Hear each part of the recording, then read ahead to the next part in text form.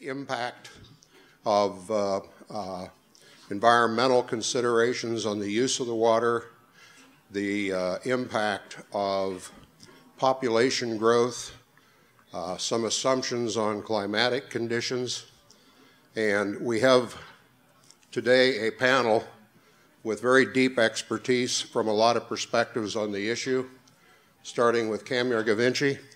Kamyar is manager of the State Integrated Water Plan for the Department of Water Resources. And then we have Tom Stokely on the other end. Tom is with the California Water Impact Network. He is a water policy uh, manager and also director. Uh, Jude Laspa. Jude's recently re re retired uh, deputy uh, chief operating officer of Bechtel Group and now serves as a member on the uh, California Institute of Science and Technology. And then Fernando Paludi. And Fernando is in charge of uh, uh, water planning and administration for the West Basin Water District in Southern California. So with that, uh, I'm Bob Cunningham. These gentlemen are policy people. I'm a nuts and bolts sort of guy. I'm a uh, uh, water chemistry and water treatment consultant, and our firm helps users like yourself uh, solve difficult problems when you're using this water that we all produce and hope we continue to produce. Uh, we get involved in uh, things to make your systems run better, to conserve energy, and to preserve your investment in your uh, physical infrastructure. So I'll sit down and I'll introduce uh, Kamyar for our first presentation. Thank you, Bob, and good afternoon, everyone. Again, my name is Kamyar Guivetchi with the Department of Water Resources. I've been asked to give you Water 101 in five minutes, so I'm going to get right to it, and uh, we can maybe talk more during the Q&A. So California's Mediterranean climate is in large part due to the fact that we get a wide variety of rainfall by as much as 200 inches per year in the northwest to less than five inches per year in the southeast. Uh, the run, runoff from that rainfall, which also occurs variably over time, comes into our main river systems, the Sacramento River and the San Joaquin River and their tributaries, and that flows out through the San Francisco Bay uh, into the Pacific Ocean. Now, if you draw a, a transect from Lake Tahoe down to San Francisco, um, about 80% of our runoff occurs north of that transect and 20% south. However, the way water is used in California is just inverted. So about one third of our water use occurs north of the transect and the remainder south of the transect. And because of that, over the last 150 years, we've developed a very intricate and elaborate water management system and flood system uh, at the local, state, and federal level. Uh, the pie chart, what I'd like to underscore is that about 75% of the water supply that goes to meet those uses is managed locally, both in surface water projects and groundwater. Uh, Colorado River water provides about 7%, and the state and federal water projects only provides about 16% of the water supply. However, the water conveyance system is an important part uh, of, of that state and federal project. Now, if you looked at the 10 hydrologic regions of California, which is a very large and diverse state, the white areas are the exporters, net exporters of water, and the shaded areas are those that import 30 to as much as 60% of the water. And you'll see the San Francisco Bay region uh, imports more than 60% of its water from other regions of the state. Now, the Delta, as you probably are hearing in the news, is at the hub of our water management system, in part naturally because the Sacramento River and the San Joaquin River and their tributaries drain out through the delta into San Francisco Bay. So about three quarters from the Sacramento River and 25% from the San Joaquin and the tributaries. Of that water that reaches the delta, about 8% gets used there. Two thirds goes out to the Pacific Ocean, again on average, and then about 26% uh, gets moved through the state and federal water projects to the Bay Area and Southern California for agricultural and urban uses. Uh, this is what we call the butterfly chart in the water plan, and I did bring a couple of handouts in the back. Uh, these graphics are there for uh, closer inspection. The left side, the left wing of the butterfly are all the different uses for 1998 to 2005. The right wing shows the different sources of supply, and the right edge of the right wing, the change in surface and groundwater storage, which is an important part of the way we manage water. Now, if you look at the regional level, then you'll really get an appreciation that the mix of uses and the mix of supplies are very different depending on where you are in California. And that's why regional water management is so important here in our state.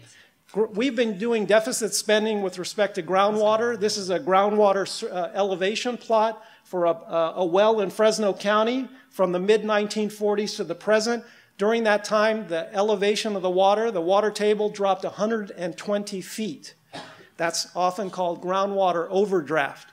Here's another well in South Yuba County, and for the first part of that same time period until early 1980s, we saw a similar trend. However, then they implemented a uh, conjunctive water management program. That's when they managed their surface water and groundwater together, and they've now recovered the groundwater level to what it was in the mid 1940s. Because this is an energy summit, I thought it's important to um, emphasize that there is a strong nexus and a growing recognition between energy and water. Uh, this is uh, uh, energy intensity plot for Inland Empire Utility District in Southern California, and it shows for their different sources of supply how much energy they use on kilowatt hours per acre foot. And you'll see it's very, uh, very diverse. And the highest energy uses are for uh, transporting water through the Colorado River Aqueduct and the State Water Project, great distances and over the Tehachapis, also ocean desal. However, I will note that the Chino desalter, which is brackish groundwater, is, um, uh, uses less energy.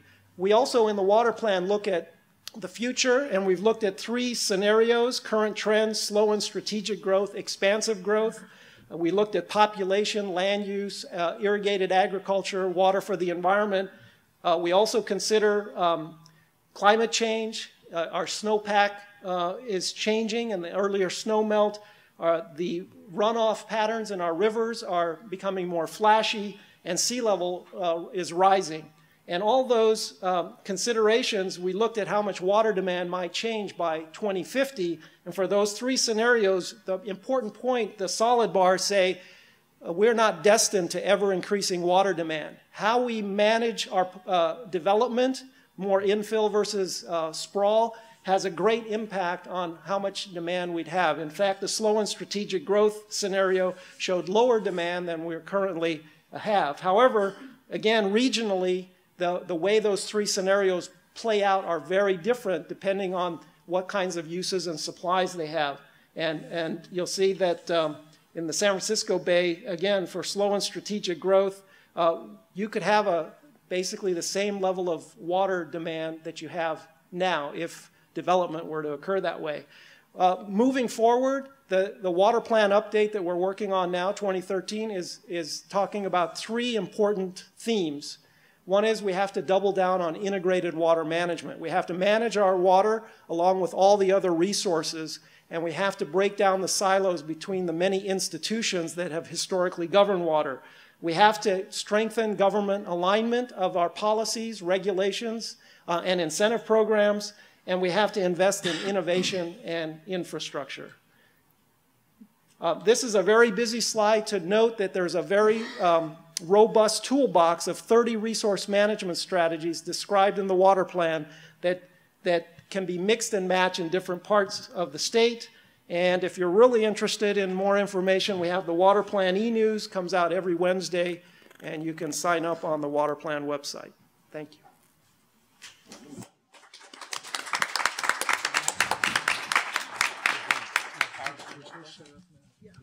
Next is Tom Stokely.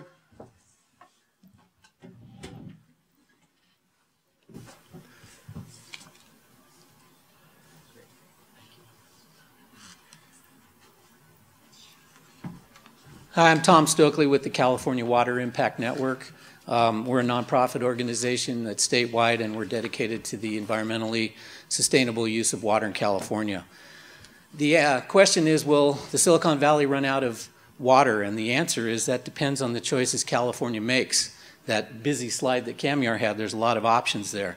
And I'd like to address an element of that crisis, an element that is promoted as a solution, but in reality is an impairment to California's water supply future.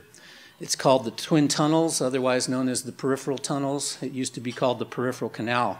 The Twin Tunnels are part of the Bay Delta Conservation Plan, an initiative promoted by the Brown administration to allegedly protect and restore the environmental resources of the Sacramento San Joaquin Delta and to provide water supply reliability from delta levee failure due to earthquakes and sea level rise. You can see on the map we've got the blow up there of the two tunnels. Essentially, the idea is to take water uh, upstream of the delta where it's salty and tunnel it under the delta to the state pumps at the south delta. The concept is to uh, spend billions to restore delta fish and wildlife habitat and build these tunnels. The premise that it's based upon is that the environmental resources of the delta are failing, and also that sea level rise and levee failure from earthquake risk will cause um, massive failure of these levees that will cause saltwater intrusion and contaminate the pumps. Uh, unfortunately, it does neither. Uh, if implemented, uh, this project will actually assure the destruction of California's delta. There's no information to show that these so-called restoration projects will actually restore the fish and wildlife. What they really need is more fresh water. And it will also saddle California's ratepayers and taxpayers with up to $60 billion in debt and do nothing to enhance the state's water supplies. What it's really all about is getting a 50-year permit under the Endangered Species Act so that they can pump regardless of the impacts on uh, listed species. We do need to uh, actively and aggressively address California's water crisis, but we don't need to destroy the most productive estuary on the West Coast and hawk our children's future to do so.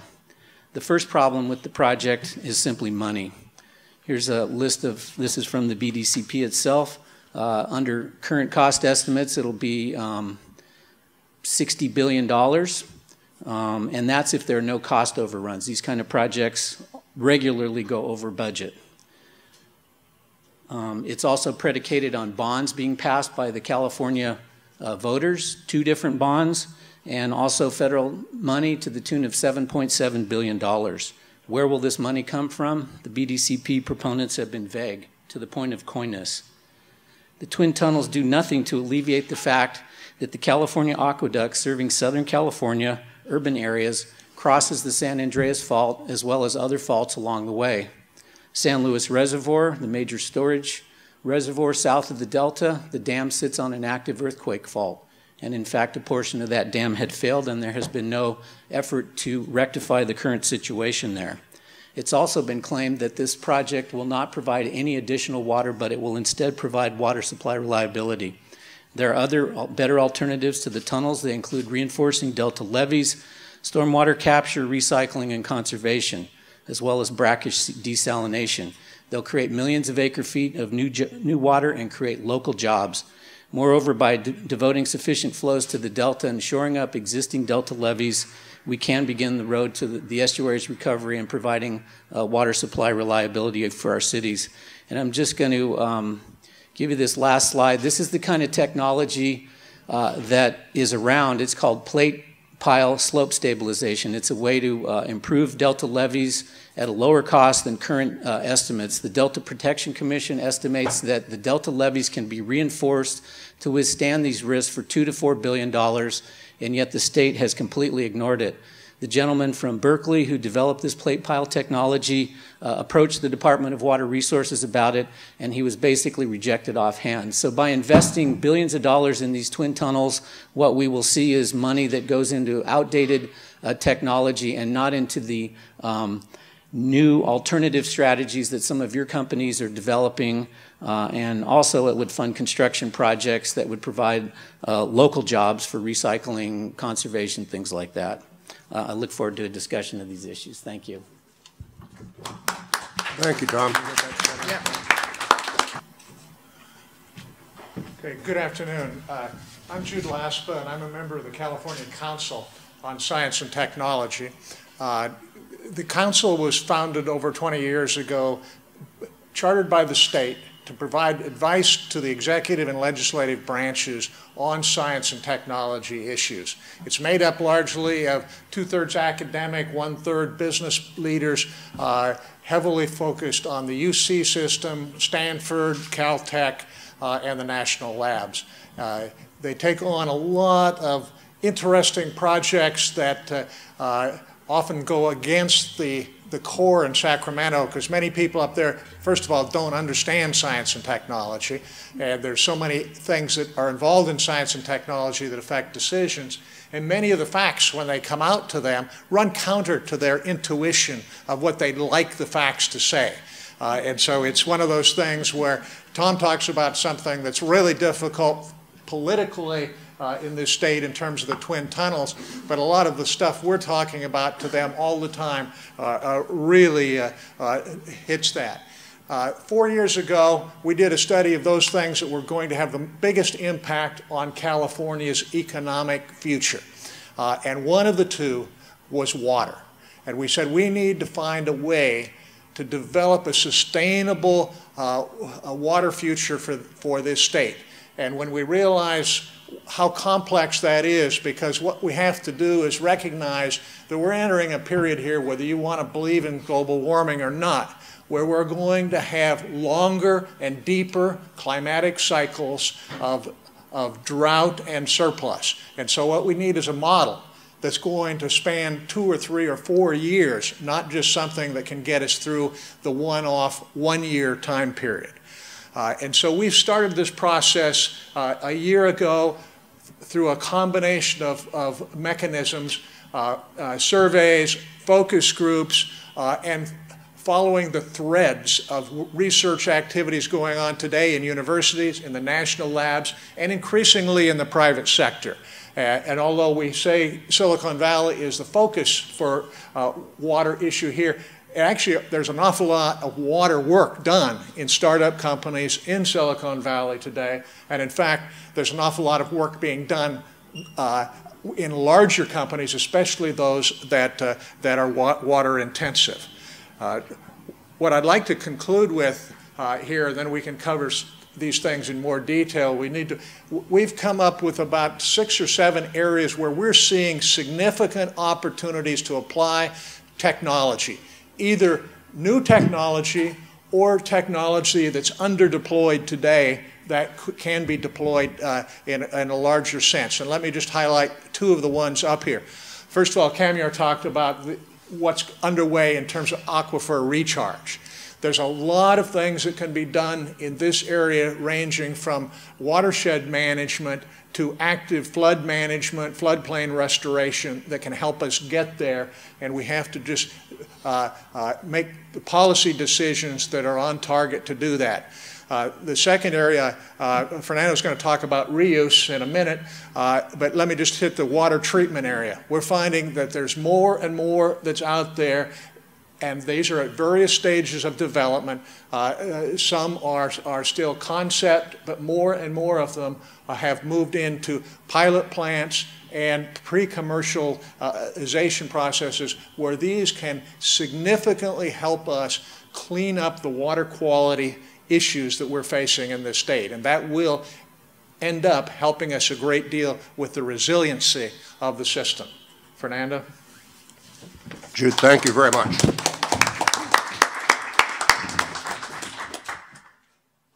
We sure are marching right along, aren't we? Under pressure here. we, we, were told we only had three minutes. I mean, it's like. We have a lady over here with flashcards. All righty, thank you. I'm Fernando Paludi from West Basin Municipal Water District. You may ask why. Where is West Basin Municipal Water District and, and why am I here? Well, um, so West Basin is a water district in Southern California. I'll, I'll, get to the map in a minute. But I was reading about Santa Clara Valley Water District, which is actually your water wholesaler here uh, for the Silicon Valley, and I saw striking similarities in, in both the approach to long-term water reliability, the types of water portfolio management strategies that Kamyar talked about. So imagine when I talk about West Basin and what we're doing, think about Santa Clara Valley Water District to help answer the question of will Silicon Valley run out of water. Is it this one right here? Right. Oops. Oh.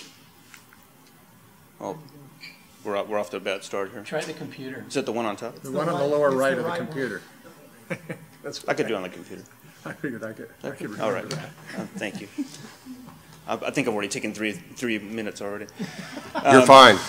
So this is the, uh, what is called the Santa Monica Bay in Los Angeles County. So we um, serve, we're a wholesale water district that serves uh, 17 cities and unincorporated county areas uh, in south, uh, sort of coastal Los Angeles County.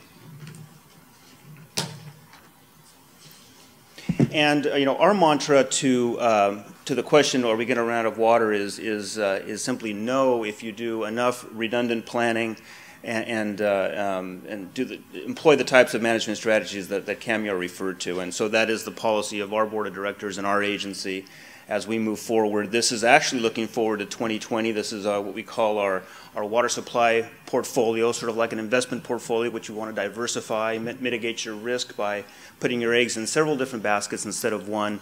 Um, that one basket had been the um, initially groundwater in the area, but then the Metropolitan Water District of Southern California, bringing water down from Northern California, as Tom referred to, and then also from the Colorado River. And so we've taken up a strategy of diversification based on conservation, um, recycled water, which we'll get into, um, and reducing that, that, that wedge of imported water to a more manageable um, sustainable level, and then exploring uh, the possibility of, of desalinated ocean water. We also have a brackish water desalter as well. So that's uh, the overview of our water supply and our uh, strategy of diversification. So um, I won't spend a lot of time on, on demand management, but that's not to imply that it's not important. It's actually the foundation of, any good water supply portfolio is you start with your water use efficiency.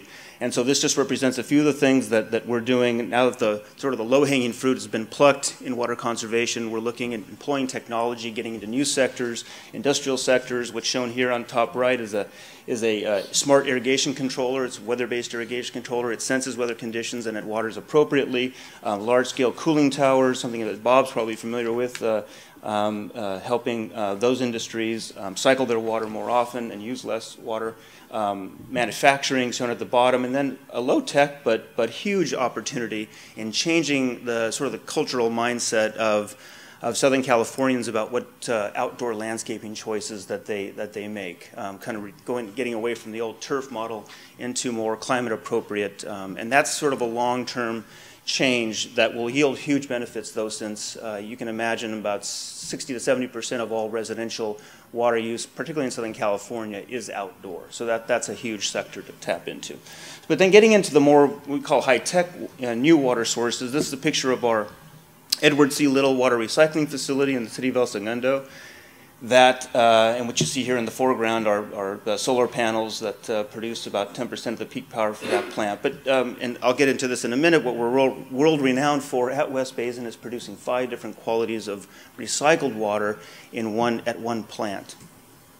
And those designer waters, as we call them, because they're customized to and tailored to the specific use, um, uh, the, the, the, treatment process and the cost is, is tailored to the specific end, end user. And fortunately, in Southern California, in our area, we have very large refinery, oil refinery customers, which is really the backbone of our system. Um, so, so starting at uh, number one, tertiary water, the lowest uh, quality of, this is, um, by the way, recycled wastewater. So this is LA City's wastewater that we divert, keep it from going into Santa Monica Bay, about 10 to 15% of it, bring it to our plant and produce um, uh, products, if you will, um, that replace precious drinking water for, for non-potable purposes.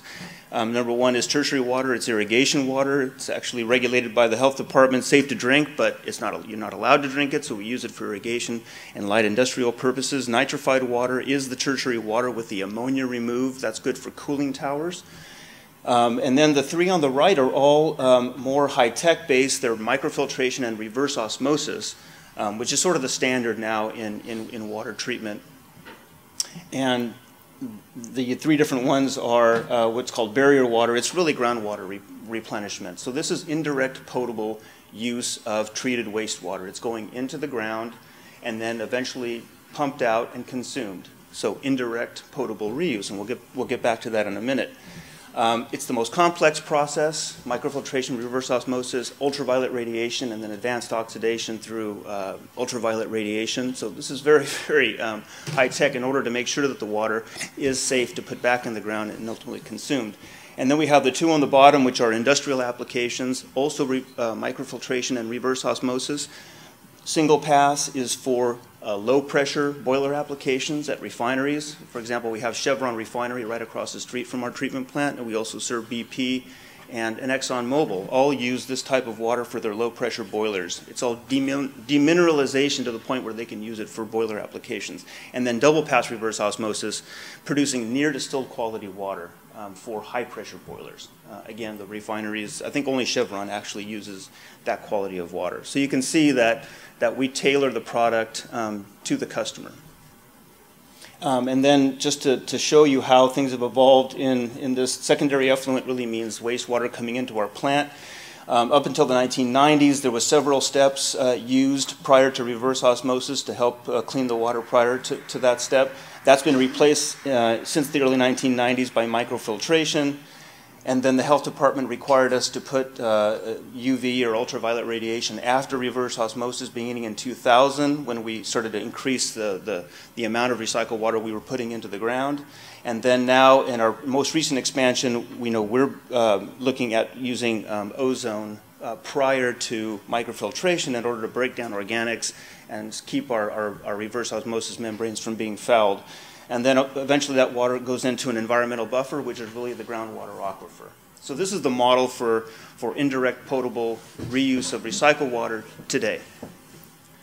Um, and this is just to dwell a little bit on, on microfiltration and reverse osmosis. So microfiltration really is, it's a membrane process. You see on the bottom right, it's actually about 2,000 of these tiny plastic straws bundled together into a cartridge. And you can see on the bottom right, that's what one single strand looks like. That plastic straw has tiny holes, one three hundredth the size of a human hair on, on the surface of it. And so, and that surface is represented by that cartoon where water is put under pressure. It's about 20 psi, forced through the tiny pores in the surface of the straw, and the cleaner water, the permeate, goes out the end of the straw. And then it goes to reverse osmosis, again, a, mem a membrane process, but this is more like you can imagine a jelly roll or a, or your kitchen paper towels, how they're wrapped around a center. That is, uh, there's a plastic perforated tube in the middle with uh, a, a plastic sheet, if you will, a membrane, a permeable membrane wrapped around it. Water is, is forced under pressure th through, um, spiraling through the membrane, and then the, the clean water goes out the end of, uh, the, end of the pipe. Those, those uh, reverse osmosis uh, membranes are housed within the uh, white uh, ceramic tubes. Those are bundled into arrays, and water is then sent through that, that process represented by the cartoon again. Your feed flow coming from microfiltration, water getting forced through um, the, the membrane. This captures now the, the, the smaller organics, um, salts and minerals, so that your, your permeate is a, is a very, very pure um, water, purer than, than, most, than most tap water. Um, not to dwell on, on uh, ocean water desalination, but it's the same process. The only difference is that the source water you're using is seawater, much, much more highly saline than wastewater, so it requires more pressure to force it through the membrane. That more pressure requires more energy and more cost, which is the, the, you know, the, the most uh, common criticism of, uh, of ocean desalination. So we're looking in that. This is our, our um, pilot uh, facility in the city of Redondo Beach, producing about 20,000 gallons a day for demonstration purposes. It also allows us to test intake and discharge technologies because the other um, challenge with ocean desalination is being protective of marine life. Um, so we are looking at that, and just to show you an example, these are the four E's that we concentrate on. The most uh, passionate one uh, is, that we feel about is environment, and so we're testing um, a intake technology that features a screen that reduces velocities, for the intake so that sea life doesn't get impinged onto the screen or is or entrained and uh, put into the pumps. This helps uh, then to reduce mortality of sea life um, uh, uh, dramatically, and so we're testing that as well. So I wanted to conclude with looking forward to the future. Um, this is the cycle of treatment that I talked about for indirect potable reuse. This is what we do today at our, at our treatment plant. Um, wastewater treatment, gets put through advanced water treatment, which is reverse osmosis plus ultraviolet radiation, but then it goes to a natural barrier system. This is the, the, the, groundwater aquifer. It gets further treatment in the soil matrix for about 20 years before it's pumped out, sometimes sent to another water treatment plant on top of that, and then back to, to, uh, to the urban water use again, completing the cycle. Um, what something called direct potable reuse proposes to do in the future is really to eliminate the steps of the natural treatment system and further water treatment so that now you're looking at sort of short circuiting that and going back into, into the distribution system. So really the challenge here is to um, produce a engineered buffer that replaces the natural buffer um, and to increase public confidence in this process. So I think a lot of research is still to be done, but, uh, and I was just talking to uh, to Bob about this. There, there's a, um, a, very concerted effort underway to raise money for research to identify what are the remaining um, research areas in the social sciences and technology operations that need to be addressed so that someday this becomes a reality. Um, and um, part of, of the, of the um, process is to obviously have this um, the regulations in place by the Department of Health Services to allow this to happen. That doesn't exist today. But through legislation, um, they have established a deadline for convening expert panels to identify the research needs and actually write those regulations in the next few years so that, and I'm not predicting when, 10, 20 uh, years down the line, I think we may be able to see, you know, this type of, of um, sustainable uh, use of our um, uh, completing this, you know, the, the, wastewater treatment cycle and, and having this be a, a huge um, uh, potential water uh, source in the future. Just keep in mind that uh, along the California coast, there's um, 3 billion gallons a day of, of, wastewater effluent to the ocean. We only recycle about 650,000 acre feet today in, in California. I think, come here, check my, check my numbers. And we have a goal of, I think, over a million acre feet, and I'm not sure, sure when that, that goal is for the state of California. We're never going to get there by doing what we're doing at West Basin, for example, which is treating water, send it to refineries through purple pipe. There's just not enough, um, and, it, it's cost prohibitive to do that on a large scale. But to imagine um, this, where we can take that huge potential of wastewater effluent going to the ocean, reuse that, um, you know, then we're going to see, uh, we're going to make those goals and then some uh, in California. So that's an exciting opportunity. Uh, the obligatory quote, uh, this one by the, the British poet Auden. And uh, thank you very much. Fernando, thank you. I have a quick question for Fernando. Where does the water come from for the astronauts? It comes through uh, a process similar to uh, reverse osmosis. Right? So the process is there. The research work needed is just further development so that we can magnify the scale of that and produce great volumes of water rather than small volumes of water, right? And have the public confidence in it, yes. Yeah, that's the big so without issue. Without that, you're, you're going to get nowhere. And we've been set back several times because of the, the toilet to tap mentality, so.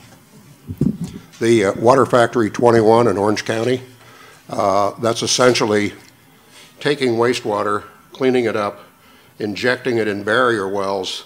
Right behind the barrier wells are drinking water wells so they've been drinking that water filtered through the sand for approximately 26 years, 27 years. Yep. So all we're talking about doing is replacing the filtration element rather than sand and soil. It's going to be some sort of an artificial medium. That's correct. Questions from the audience? Said it better than I did. Jim?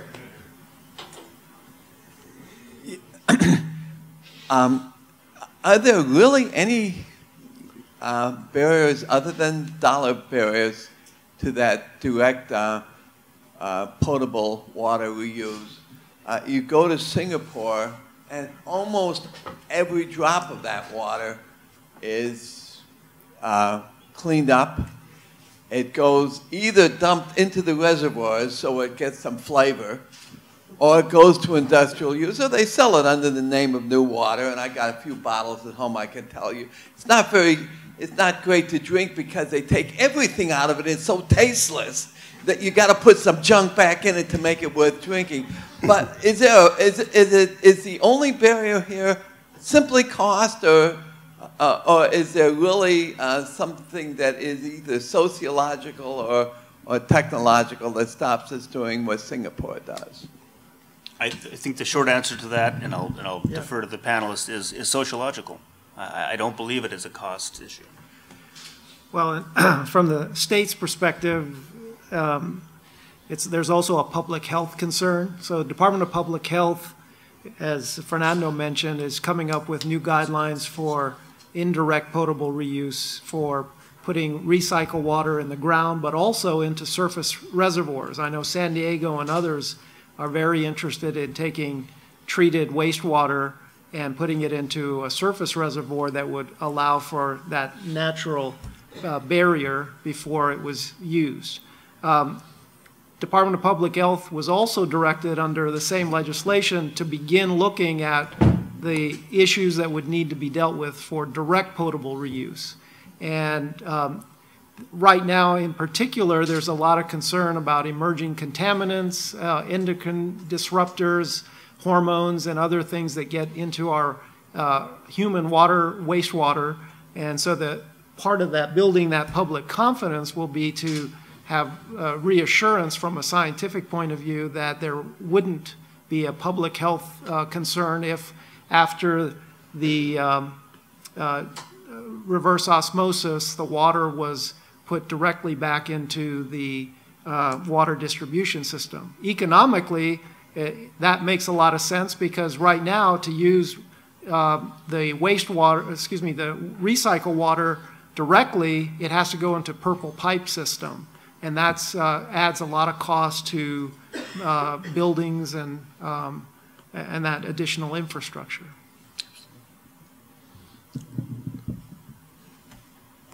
Yes, sir. Uh, our microphone is where? There we are. Yes, sir. You have the mic? Yeah, I've got the mic. Uh, hi, I'm Don Wood, uh, Draper Fisher Jurvetson. We're venture investors. Um, I've got a question about water conservation. Um, what are the incentives of the water, uh, municipal water districts to, to conserve water since your revenue comes from selling water and we've had, you know, 50 years of electric utilities acting like they care about conservation but not really doing much about it. So how is it different with water?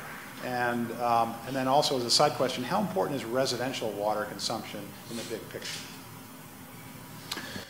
Well, that's a, that's a very good point, and uh, that's something that we grapple with, and, and, frankly don't do a very good job of explaining to the public, you know, why their water rates continue to go up when, when they are conserving water, and that's simply because we, we work in a very capital-intensive business, um, huge fixed costs, and, and uh, when you sell less water, you make less revenue, but you still have those huge fixed costs, which are tied up in your infrastructure. So so we need to do a better job of explaining that uh, to people. Um, what is our motivation? Well, um, uh, we simply uh, can't do without it. I mean, we, we could never justify the advancements that we're making in, in, in recycled water and ocean desalination without first um, doing everything that we can within reason. I mean, you can always um, throw more money at it, but, but water use efficiency really is the backbone of, of, of uh, you know, of, of what we do. So it's, it is the right thing to do, and um, so there really is that there's really no way around it. I mean, that that's something that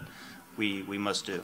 But then we need to make sure we look at the pieces about where the efficiency is, because ag agriculture in California consumes a tremendous amount of, of water, uh, and the the person who's paying for it there is the is the grower. Uh, and the grower has a lot of levers that they can pull uh, between uh, optimizing the amount of water it takes per unit of output uh, of, of product that they have to the selection of the products they that, that they have because there are many things that are grown which are high value crops in California uh, which are much lower water intensity uh, than than others. there's some that still require flood irrigation and you could still argue that rice is, is a good crop in California because of the environmental and the wetlands restoration issues. So it's a very complex thing, but you have to sort of get it back to where the consumer is uh, on this and, and have them be part of that process as opposed to trying to drive it through some kind of regulatory regime uh, that uh, uh really will fly in the face of what market forces uh, can be incented to do.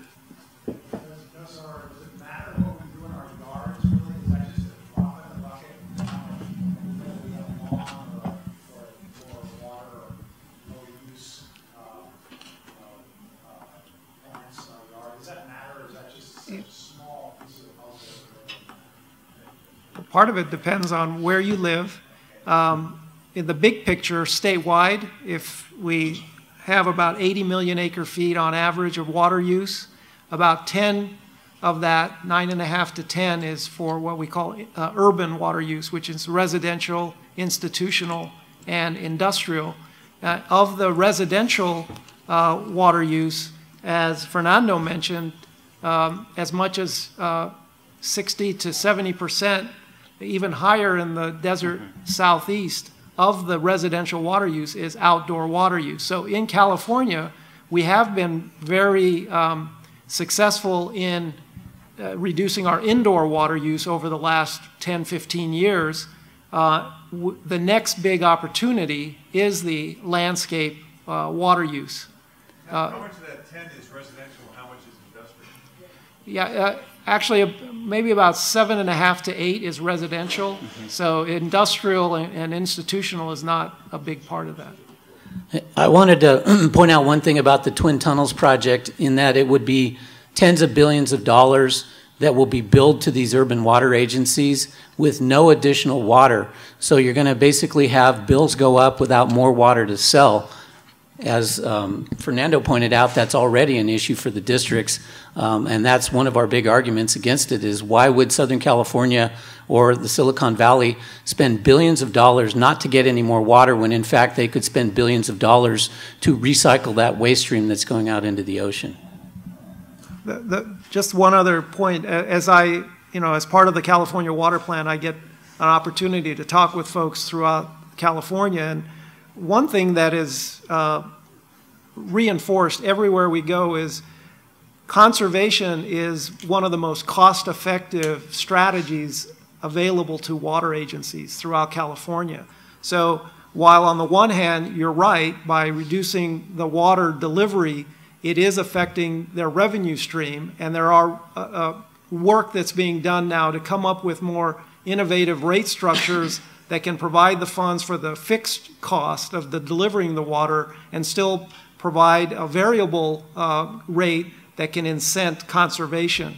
Uh, but it makes good business sense for agencies to invest in conservation because the next strategy available to them would be more costly.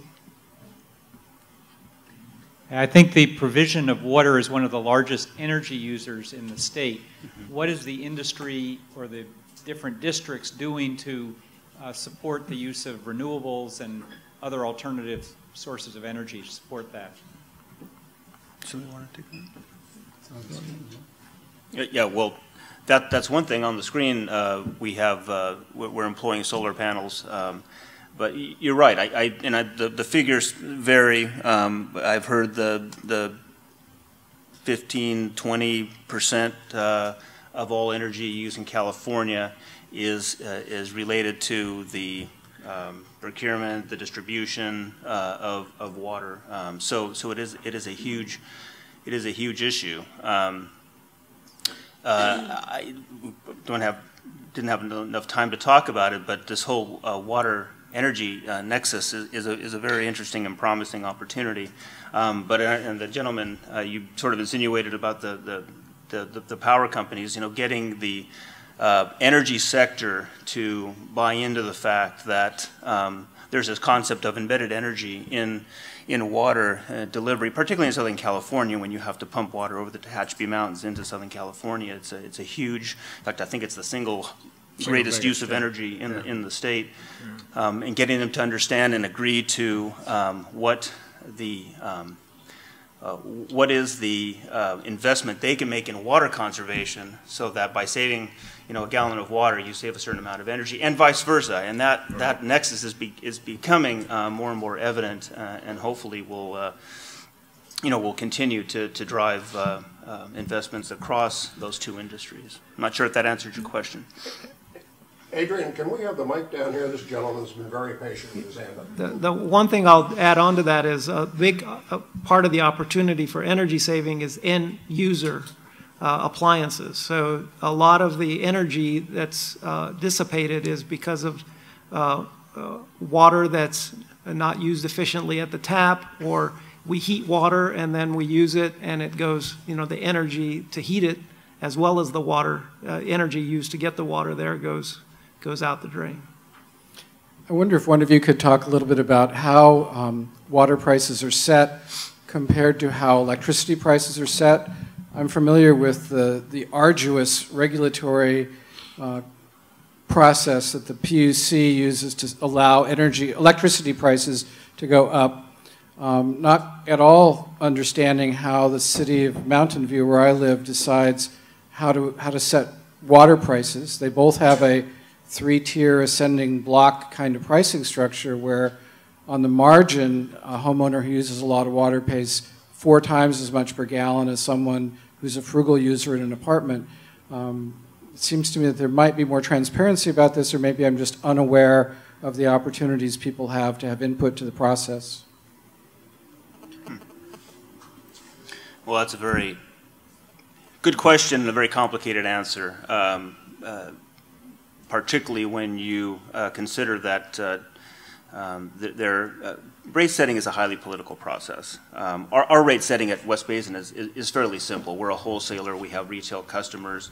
Um, when it comes to the sale of, of, of potable water, um, we, we don't have an inclining block structure. We have to have a declining block structure for recycled water because we want to encourage its use. But at, my understanding at, at, the, at the retail level, um, there are, uh, uh, as, as a way to help conserve, um, we're, we're seeing greater and greater adoption of these inclining block structures. Um, they can create inequities. Um, uh, and then I just wanted to again reinforce the fact that, um, and, and this is something that, that we deal with all the time, um, rate setting at, at, the, at the local level, at the municipal level, is, is a highly political process. That, and, um, and, and so you see these uh, periods where, where rates are not raised um, to keep up with investments in infrastructure, replacement of infrastructure, which is becoming a, a very, very large issue. Um, and then you have private water companies that serve about one uh, out, of, out of every five uh, Californians, uh, and that is the PUC process um, on the water side that is regulated by the California Public Utilities Commission. And they actually get a rate of return uh, when they do invest in infrastructure. And so they have a, they have a, a very different rate setting structure. So what I guess what I'm pointing to is that, that there really is no um, consistency uh, and that in itself uh, causes a great amount of frustration um, amongst water users all around the state. What I could add to that is the California Urban Water Conservation Council just uh, this last week held two workshops, one in Sacramento, one in Southern Cal, on water rate structures because it is recognized as being a big deal.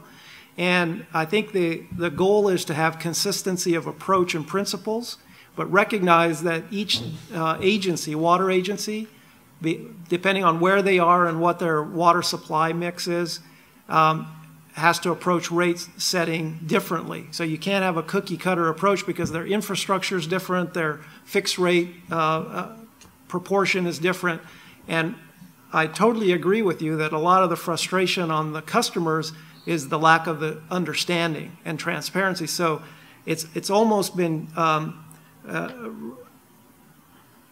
kind of a counter uh, incentive in that people have been conserving, they're using less water, and yet they see their water rates go up. And it's because it, it hasn't been clearly described that the rate increases because of the deferred uh, aging infrastructure, the fixed rate cost, but to the average homeowner, that they don't understand that. So water agencies are going to have to do a better job at having continual communication with their customers on what part of their water bill is for the fixed cost, the delivery of the water there, and what is for the actual water use, the variable water use month to month.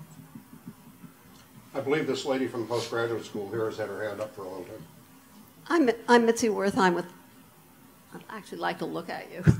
Uh, I'm Mitzi Wertheim with the Naval Postgraduate School. Um, I've been dealing with energy since '04. It is an unbelievably complex topic, and it doesn't matter which, one, which door you use to get into this space.